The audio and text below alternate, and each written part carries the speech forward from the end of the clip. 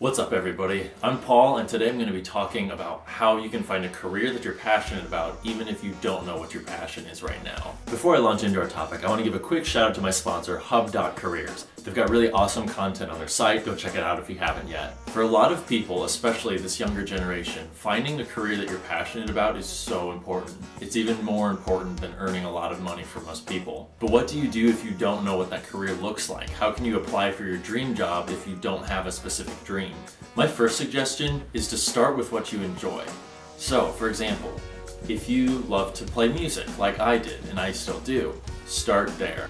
Think about the field that you enjoy participating in and see if there's a way that you can monetize it. For myself, I drum for two different bands and those both have started generating revenue through streaming income. But beyond just that, I was able to develop a certain skill set because of my bands that have helped me to launch my current career freelancing. For example, I didn't know anything about Photoshop before I started playing music, but because I had to start editing flyers for shows and I had to start working with logos and such, I learned Photoshop as an extension of playing music. The same goes for video editing for me. I didn't know a thing about video editing before I started playing music, but when the time came, I wanted to help be able to produce video content for our own YouTube channel and now, a lot of what I do in my day-to-day -day job is managing corporations' YouTube channels, making videos, editing videos, a lot of video editing stuff, all of which I learned just because I started playing music. So ask yourself, is there something in an area of life that you are interested in that has maybe a cousin industry or a complementary skill that can be monetized?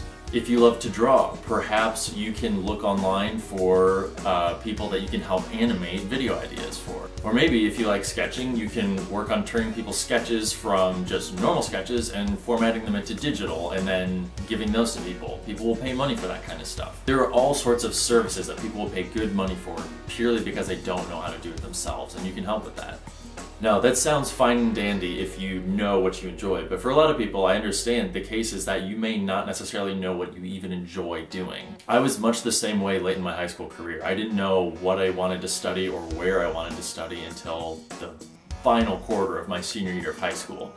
So to people who are in the same situation that I was in, I recommend looking for people that you're jealous of. And that probably sounds kind of weird, but hear me out. If you don't know what it is that you like doing, jealousy is a great indicator of your subconscious telling you what you actually do enjoy doing. So, for example, if you see someone who is running their own graphic design firm and you're going, man, I wish I could do that. I wish I could start my own graphic design firm.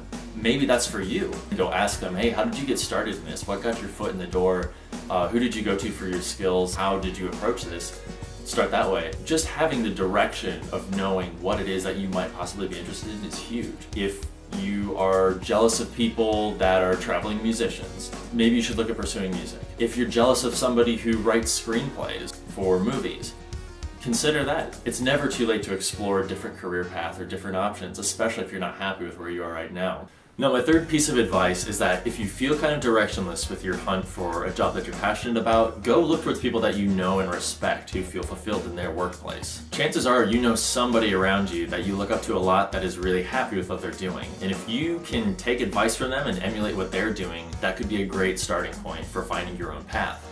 My final piece of advice is to focus on people first. If it feels at any point in time like you don't know what career field you want to land in, try starting with what people you want to be around in first. If you feel alive when you're around creative, energetic people, then search for a career field where you can find people like that and interact with them every day. Your coworkers are such a huge part of what type of career you're going to lead. It can be possibly the biggest factor in whether or not you feel happy and fulfilled in your job.